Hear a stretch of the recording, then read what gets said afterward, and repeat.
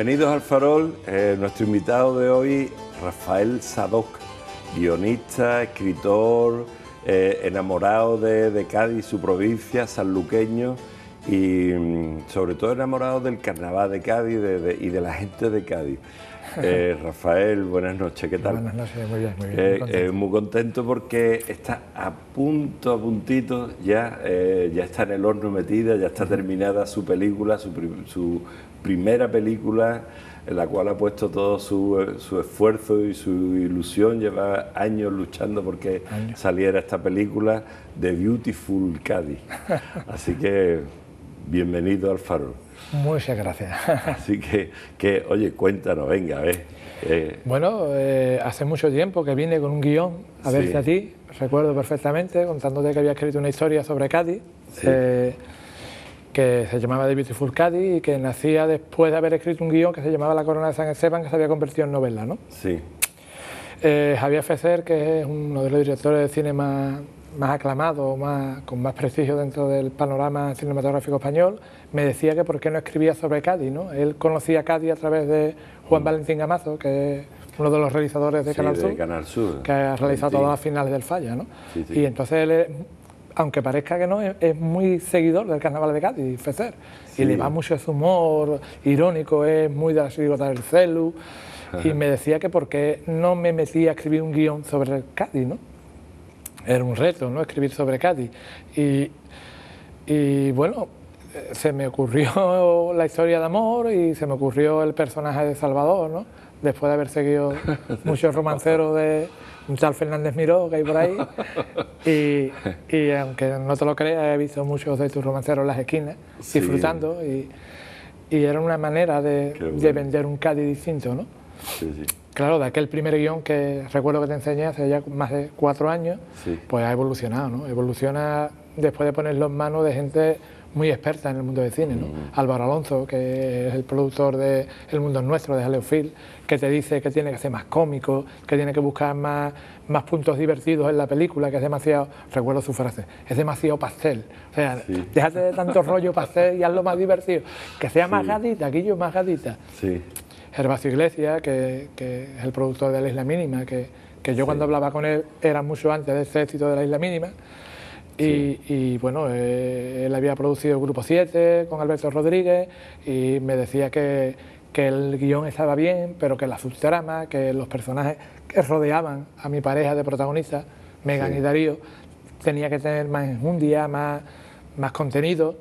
Y bueno, todo eso va creciendo, va creciendo, va creciendo, hasta que definitivamente te pones a realizar la película, ¿no? Y con mucho esfuerzo, muchísimo sacrificio. Sí, porque presupuesto cortito, ¿no? 40.000 euros. No, no, voy a tener ningún reparo. Creo que eres, el primero que ha preguntado, pero ¿cuánto ha costado de verdad la película? No, no yo no he preguntado cuánto, porque me imagino que, no, que no nadaba ahí en, la, abundancia. Hemos hecho una peli de 97 minutos con 40.000 euros. Puede parecer una locura, pero es real. Es cierto que nadie ha cobrado, ¿eh? Nadie ha cobrado. Todos, todos son cameos, ¿no? No, no, todos estamos a la espera de que esto dé algo de dinero y por lo menos echemos un rato, cenemos, hagamos una barbacoa. Pero bueno, eh, eh, eh, hemos invertido todo lo que ha generado la Corona de San Esteban en aquella novela. Hemos invertido los ahorros de Alberto Benítez, que es el director de fotografía, Batista, que es productor, Dioni, que ha trabajado de escribia y tiene un papel en la peli, yo, que somos los cuatro pilares de The Shiriparza Entertainment, que es la productora que queremos consolidar a partir de ahora. Eh, y bueno, hay aportaciones de empresas, Estrella Galicia, Pepsi, Bodegas Yuce, que son de yo trabajo. Y bueno, ahí, entre todos, sumamos 40.000 euros y de ahí no podíamos pasar. Y bueno, lo hemos, lo hemos hecho. Lo habéis hecho, eso es un reto de lo... Pero vamos, la misión tuya y vuestra no es ganar dinero, me imagino, sino la satisfacción de decir sí, y, también luego que sea una plataforma claro, no para otras para más historias no porque claro. nosotros cuando rodamos de Beautiful Cádiz había borradores de historias que mm. tú en estos cuatro años vas definiendo. Nosotros tenemos más historias que contar. Nosotros queremos que The Beautiful Cádiz nos permita hacer una próxima película y no con 40.000 euros, por favor, y no quitándole los ahorros a la gente que, que parece que íbamos dando sablazos, que íbamos dando un poco de... No, que yo queremos hacer las cosas medianamente bien hechas. No haría más una película como eso de Víctor Farcadé. ¿eh? Con 40.000 euros. No, no es por los 40.000 euros, sino por la forma. O sea, no se puede ir pidiendo favores constantemente porque abusa de la gente, las cansa y no son las formas de hacer cine, ¿no? Sí, de todas formas se ha volcado mucha gente, ¿no? Ha dicho, venga, vámonos para adentro. El guion y la banda sonora de Miguel Ángel ha abierto muchas puertas. O sea, yo había hecho un esbozo, una sinopsis del guion, que le iban, bueno, desde Ana López Segovia, que ha dicho que sí, o los Atlánticos que ha dicho que sí, a un montón de gente que han dicho que no, o no han podido, ¿no? Por ejemplo, eh, eh, Alejo ¿no? Alejo sí. Dojerci, Rafa Boy, pero cuando empezábamos a rodar nosotros, él estaba ya rodando una película fuera, ¿no? que yo no pudo, tío, pero Rafa, que estoy en el estreno y me siento a tu lado, que esto Cádiz, picha para adelante, no te rinda, que es la forma. Llevábamos cuatro años pidiendo o buscando financiación. Nosotros hemos tenido cinco reuniones con Canal Sur, o sea, cinco. Yo, yo he conocido a dos directores de Canal Sur, Ricardo Yorca y José, José Luis del Sá. Los dos eran los responsables de decir sobre qué proyecto invertimos o no invertimos. Y se dilata, se dilata, la situación económica no es la más bollante ahora, claro, lo reconozco. esperando que llegue dinero para y esperando, esperando, va pasando el tiempo, va pasando el tiempo, yo cada vez soy más viejo, la gente se va aburriendo. y... Yo te veo cada vez más joven. Yo no ah, sé tío, si, porque... si te ha rejuvenecido la película... El maquillaje, tío, no, no, el maquillaje hecho un milagro. No, así que estamos muy... Oye, y cuéntame, los, los actores, ¿habéis descubierto gente? He descubierto... Mm, eh, sorpresa, de verdad. Con, por ejemplo, de aquel guion, recuerdo cuando tú viste el guion, el personaje de Manuel, que es el amigo de Darío, no era un chico con síndrome de Down. Cuando conozco a Miguel Clare, eh, que me habla de él Miguel Ángel García Cosío, digo, oh, le daba un giro hablando de las subtramas, ¿no? si hay que crear más atención a los personajes secundarios, había que buscar formas de conseguirlo, ¿no? Y cuando conozco a Miguel Claret me enamoré de él, digo, este tío da un juego en la película increíble porque él tiene mucho... Nosotros le hemos dado mucha carta de libertad en, los diálogos. Le mm. explicábamos, mira, Miguel, lo queremos por aquí, pero tú tú, Dilo con tus palabras. Claro, y, que él disfrutara ¿no? de la película, ¿no? Y sorprenderme, sorprenderme de verdad los dos protagonistas. Eh, tanto Ana Marina Ligio, que es la que hace de Megan, que es una chica americana, que es Lee, por su profesionalidad, porque era... Eh, todo perfecto, Salvador. Era todo perfecto. Llegaba como lo hacía. Si repetíamos una secuencia seis veces, las seis veces las clavaba. Y luego estaba la anarquía de Javier Aguilera, ¿no? que es un tío que quiere un montón, pero era todo lo contrario. Javier Aguilera, cada vez que hacíamos un diálogo, lo repetía de seis maneras distintas. Sí, sí. Con Javi, todas graciosas, claro, siempre, siempre buscando... Todas las bordaba, ¿no? Todas las bordaba y cada vez más original. Claro, ahora había que sacarle a Javier Aguilera la parte dramática, porque Vale, la parte simpática ya la tiene de por sí, pero ¿cómo exprimes tú la parte dramática de un tío que de cada dos minutos está contando un chiste? Es imposible, ¿sabes? Sacarle parte dramática, ¿no? Eh, increíble, Toño Moreno, eh, Ana, López, Segovia. Ana Segovia. Yo disfrutaba con Ana, aparte de que la admiro, he disfrutado enorme. Ana fantástica, me imagino, ¿no? Tengo una gana de verlo ya. Es un papel de maruja gaditana total. Y bueno, Ana aborda el papel que haga, eso no, cabe duda. Y además, luego fuera de cámara estuve un rato hablando con ella y, y, la verdad es que hablábamos de cómo funciona el teatro hoy día y de que ojalá podamos hacer más cine, ojalá pueda contar más veces con ella. Mm, Ana tiene un coco privilegiado porque ahí además se funde. Yo siempre que cuando hablo con ganas es que se me cae la baba, claro. no tengo más remedio. Pues entonces los dos tenemos la misma debilidad. ¿no? Yo he seguido a Ana López Segovia. el monstruo que tiene de, de, actriz dentro y además el coco para escribir, para, para interpretar es que es, muy especial. Luego en la película también yo quería reflejar, claro, porque hablamos, has hablado antes de que yo soy una enamorado de Cádiz, de verdad, desde que era un pibe, y sabe que con Antonio Martínez Ares he recorrido muchas calles de Cádiz, claro, pero yo quería explotar el Cádiz que, que a mí me había hecho disfrutar, ¿no? El Cádiz del Pópulo, el Pai Pai, para mí el Pai Pai era un elemento importantísimo en la película, ¿no? El Falla, el Falla quería ponerlo diáfano, ¿no? O sea, que no hubiera telones, que no hubiera que no fuese el teatro del carnaval, ¿no? que fuera un teatro el diálogo del falla es de los diálogos que más me gusta dentro de la película, ¿no? Salvador, el personaje de Salvador. Sí, o sea que hay uno, que hace, da hasta vergüenza esto. hay uno que hace de yo, ¿no? uno de mí. me dijeron una vez, Pero... ¿por qué no llamas Salvador? Digo, no, porque es mulacio, tío. No, no voy a Salvador haciendo de Salvador. No, y, Aparte que, bueno, pero tienes que aclarar que el personaje es un poco borrachín, ¿no? Claro, y yo soy de la liga antialcohólica. bueno, el personaje arranca un poco borrachín, pero es un mm. personaje la gente que ha visto ya el. bueno, la película ya está casi terminada, estamos a falta de una semana. Necesitamos que Miguel Ángel termine lo que es detalles de la música que va en el centro de la peli. Miguel Ángel estaba hablando del hermano de, de, Celu. De, Miguel Ángel García que, que, para mí es un creador, yo creo que. un músico fantástico. Y ¿eh? va a sorprender a la gente la música que crea en la película, ¿eh? porque la película no envidia en música a ninguna película de las importantes. Repito y repito que muchísimas puertas me las ha abierto la música de Miguel García Cosío. ¿eh? Cuando antes de porque ahora ya hay un, un tráiler, ya hay, ya hay material visual, pero hace un año no lo había. El tráiler se puede ver en, YouTube, ¿no? en YouTube, Simplemente mete The, Beautiful, Beautiful Cádiz trailer y puede acceder a... ¿Cómo? The, Beautiful. The Beautiful. The Beautiful Cádiz alegre, ¿no? No, la bonita Cádiz la bonita, ¿no? la, según la americana, en Yankee sería la bonita Cádiz. La bonita Cuando alguien es beautiful es que es bonita, ¿no? es preciosa, ¿no? Una chica bonita sería beautiful. Y bueno, y te decía que la música me ha abierto muchas puertas y que el Cádiz que yo quería un poco plasmar en The Beautiful Cádiz era un Cádiz que, que, no es el Cádiz a lo mejor habitual, ¿no? De hecho, por ejemplo, la calidad sale al final de la peli. O sea, no, es un, no es un documental de Cádiz, Salvador. Sí. Es una historia de amor donde el telón de fondo es Cádiz, ¿no? Y, gente de Cádiz, claro. Sobre todo, hay muchos cambios con mucha gente de Cádiz, muchísima gente de Cádiz. Quiere decir que, que, no tan importante el fondo como el que tú, eh. hayas, el, que tú hayas querido plasmar, el cómo es la gente de Cádiz. Claro, la idiosincrasia, el humor. Hay mucho de Gómez, ¿no? Del Gómez. Aunque mm, son detalles, eh, o como yo entiendo Cádiz, también a lo mejor mi manera particular de ver Cádiz, ¿no? Hay también su pequeña crítica al carnaval de hoy día, ¿no? Al comienzo y, y, bueno, y es mi forma de plasmarlo. Y Salvador, que también te decía que el personaje, el actor que lo encarna es un gaditano que se llama Diego Dávila, que lo conoció gracias a Batista. Que ¿Es de San Lucas, Diego? No, él es de aquí de, Cádiz. Y, ha salido en coros de aquí, ¿eh? él ha sido corista. Pero ahora trabaja en San vive, Lucas. Vive, vive en San Lucas. yo creo que está jubilado y vive en San Lucas. Su, hijo es profesor de aquí de alemán, me parece en la universidad, y lo conocí a, través de Batista, que tiene un grupo de teatro, y casi todos los secundarios lo hemos estado buscando en grupos de teatro. No era más cómodo traer gente que buscadores ya volvíamos a lo mismo, no teníamos dinero y era aquí pedir favores, ¿no? Y entre las distintas opciones, cuando yo conozco a Diego Dávila, mm, mm, le vi ese punto salvador que yo tenía en mi cabeza, ¿no? Ese punto Miyagi, ¿no? Sí, mira, estamos, viendo, parte del tráiler, sí, sí, sí, Con la música de Miyagi. fantástica, ¿eh? Él es Salvador, que es Diego. Miguel Clare con Javi.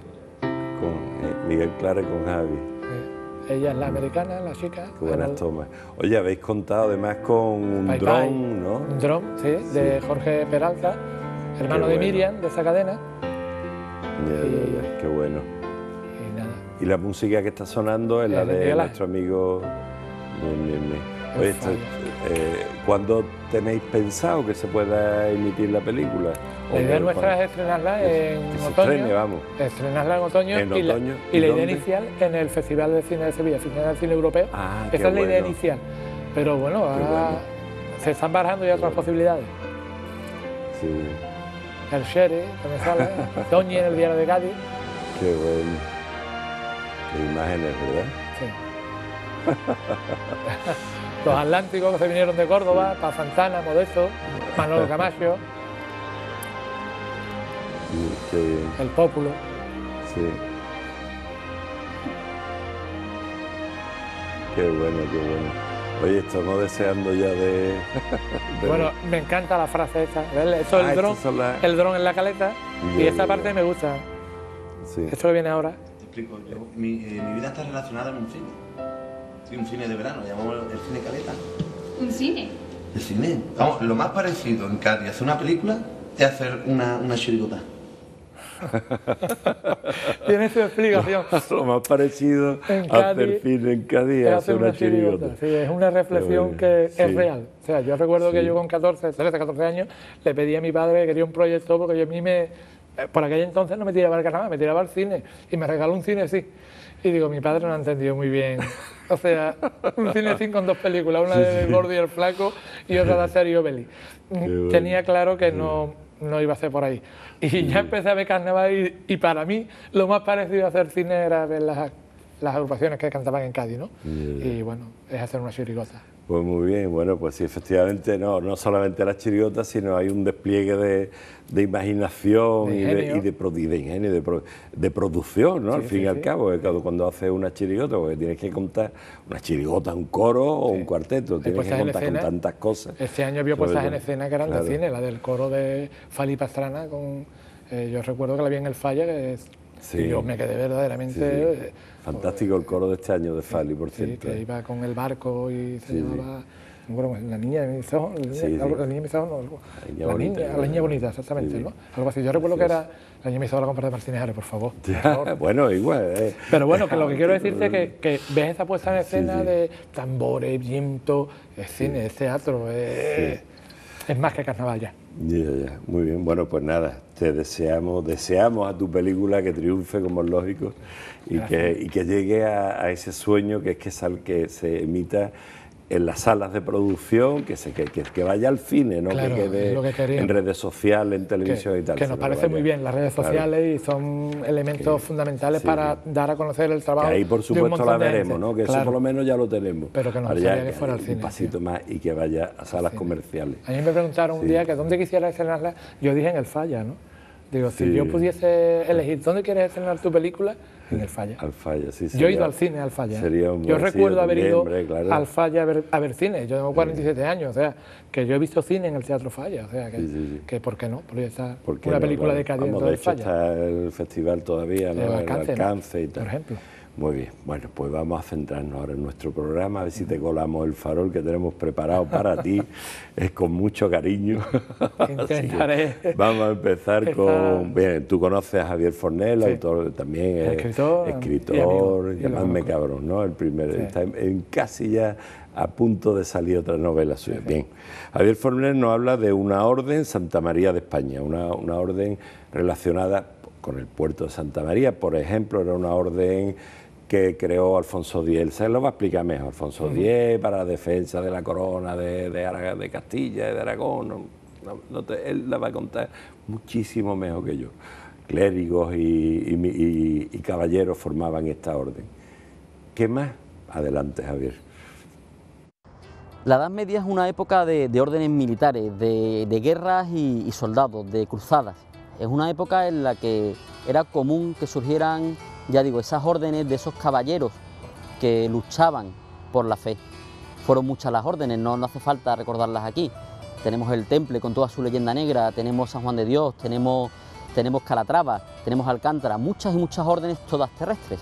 Sin embargo, tenemos una orden militar que estuvo muy vinculada a la provincia de Cádiz y muy vinculada a nuestra bahía, la Orden Militar y Marítima Santa María de España, fundada por Alfonso X, que la dotó de un amplísimo patrimonio, y que la dotó además de un amplísimo número de hombres, de caballeros que debían acogerse a la durísima orden del Cister, a la durísima regla monástica del Cister, para formar parte de esa primera marina castellana, con sede en Cartagena inicialmente, pero también vinculada a lo que era entonces ya conocido como Santa María del Puerto, la antigua Alcanatiz, y vinculada, ya digo, en todos los aspectos. Si la orden militar marítima recibió el nombre de Santa María, fue por la altísima devoción que el rey sabio, que don Alfonso, tenía a la pequeña virgen que habían encontrado en un monasterio en Alcanatiz, en lo que hoy es el puerto, el puerto de Santa María.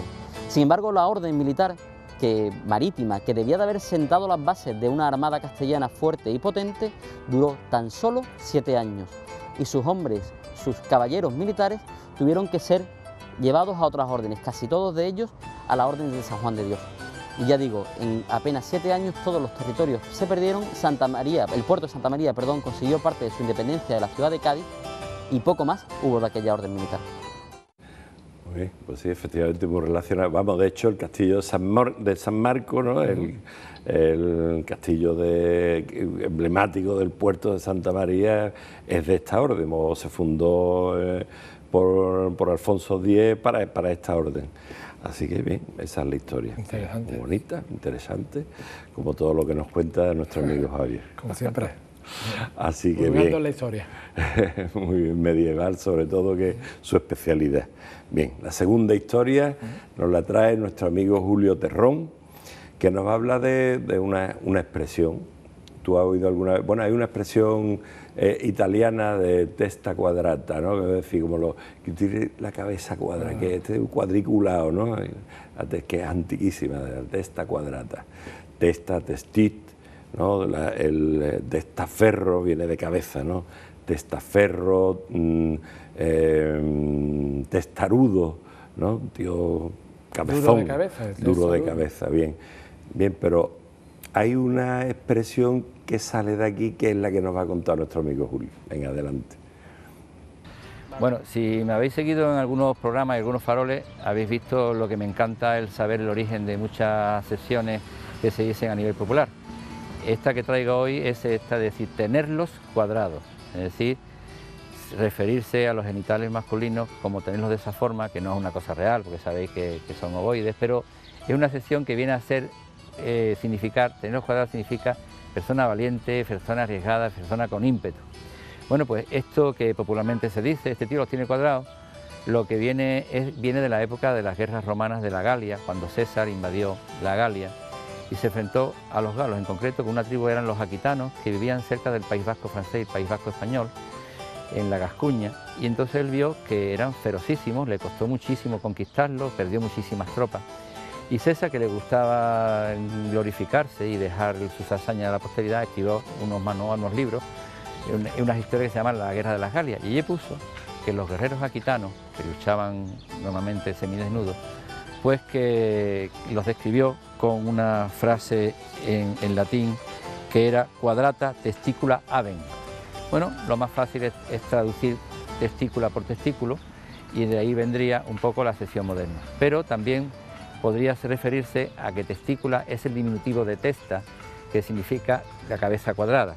Y es que los galos, pues eh, igual que mucha gente moderna ahora, se ponen los pelos así para arriba con gomina, pues ellos también lo tenían muy erizado, casi con la cabeza como cuadrada. Cualquier caso, de estas dos eh, acepciones, de estas dos orígenes, la más probable es la primera, puesto que ha quedado popularmente como persona de si este tío tiene cuadrados. Y reforzando esta idea, eh, Marco Aurelio Tiburtino, en el siglo III después de Cristo, cuando define a los gladiadores aquitanos que luchan en el circo, se refiere a ellos cuando los liberaban, que le quedaban unos motes que eran quadratus, o otros le llaman rhombus, o otros poliédricus, es decir, figuras geométricas de alguna forma recordando esa valentía y ese origen a los que nos estamos refiriendo. Muy bien. Este, voy, tengo los ovoides cuadratos. Ya En fin, la historia de nuestro amigo Julio, interesante. Muy interesante. ¿Qué te parece? Pasirigota, pues bueno. Fantástica, bien. Bien, pues de Julio Terrón nos vamos a nuestro amigo Julio Molina Font, escritor de varios libros también, el primero y más emblemático que dio luego esa eh, serie de libros, ¿no? Fueron secuelas del anterior, ¿no? Eh, la pequeña historia de Cádiz, unos, son unos libros, están en todos lados, costumbristas. Eh, fantástico, yo los disfruté tremendamente. Además, aprendes mucho de Cádiz leyéndolo. Sí, de la gente de Cádiz, de cómo es la gente de Cádiz, muy gracioso escribiendo. Bien, pues Julio Molina nos va a hablar de el estornudo. Fíjate que que sale ahora el estornudo. Cuando tú estornudas, ¿qué dice la gente? ¡Shu! ¡Shu María José! ¡Shu María José! Viene de muy antiguo eso, claro. Ya. Yo creo que eh, bueno, vamos a dejarlo que nos lo cuente él mejor. Muy bien. No vaya yo a irme por los cerros de Úbeda. Venga, adelante.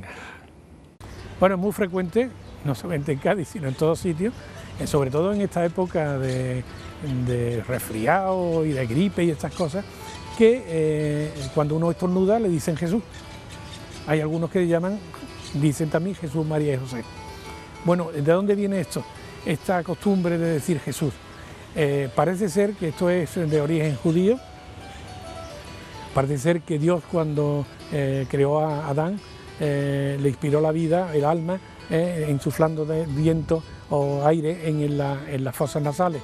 Por eso cuando sale el aire de las fosas nasales con ese estruendo, parece ser que se va, la vida.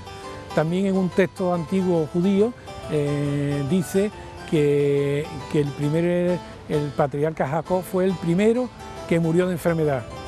Anteriormente todos, todos los demás morían de estornudo. Al estornudar morían. Eh, por eso eh, se decía en, aquella época judaica se decía eh, que Dios te guarde o, que te salve la vida, ¿no? Eh, porque eh, el estornudo era, era signo de, muerte inmediata. ¿no? Después ya con el cristianismo ya vino la, la, traducción, digamos, de en vez de decir Dios te guarde o algo, pues Jesús, y después Jesús, María y José, y, algunos que, también por la calle, eso ya es una, una anécdota porque algunos por la calle cuando eh, escucha un eructo le dicen Jesús, ¿eh? en comparación al estornudo. Yo tengo una amiga que estornuda y al rato dice chis. Al rato dice chis, chis. Pero al rato ella, o sea, estornuda y cuando pasa un ratito dice chis.